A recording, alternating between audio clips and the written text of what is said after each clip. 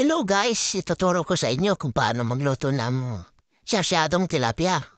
Ito, linisin. Pagkatapos linisin, iprito. Pagkatapos iprito, siyempre, kumuha tayo ng mga sahog niya. Kung ano yung mga sahog ng syasyado. So, yan, binaliktad ko para luto na siya. Ilagay natin sa plato.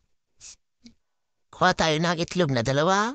Uh, i-mix natin para mamaya isawag natin yun.